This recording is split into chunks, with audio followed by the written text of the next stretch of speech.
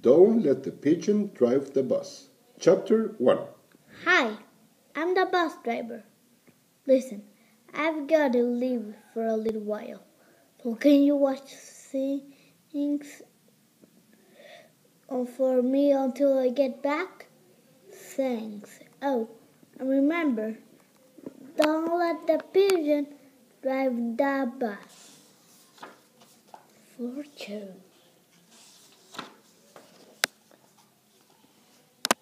I thought he'd never leave. Hey, can you drive the bus? Please. I'll be careful. I know what. I will just steer.